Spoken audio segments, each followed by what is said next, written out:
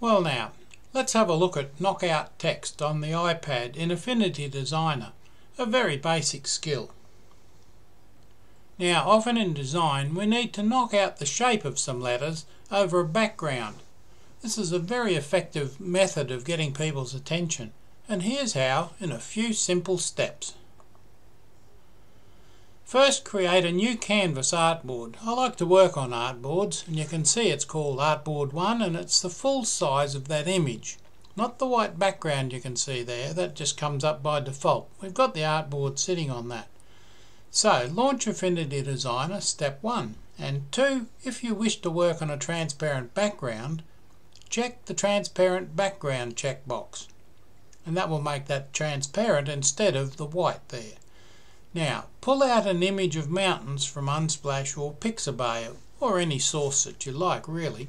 Make it the full size of your artboard. Now, simply draw out a simple black rectangle over the mountains. That's for this exercise. That's just a simple black background and we're going to put some plain white text on it. It really doesn't matter what colour that text is, so plain white the default will do. Set it in a nice bold font because you want to be able to see through it, really. As I mentioned, colour doesn't matter. And your layer list will look like this.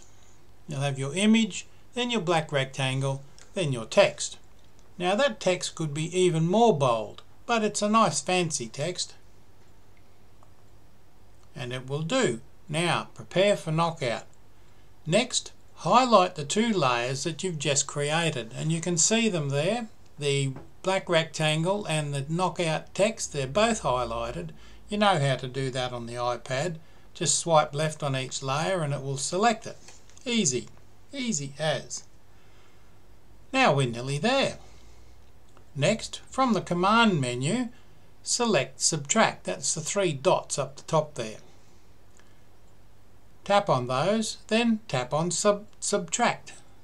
And there it is, you've got add, subtract, intersect, etc. We just want subtract. Tap on subtract and presto, there's your knockout. Now you can see the knockout and notice the new layer layout. Easy as. So, enjoy. Thanks for watching. Don't forget, subscribe to my YouTube channel.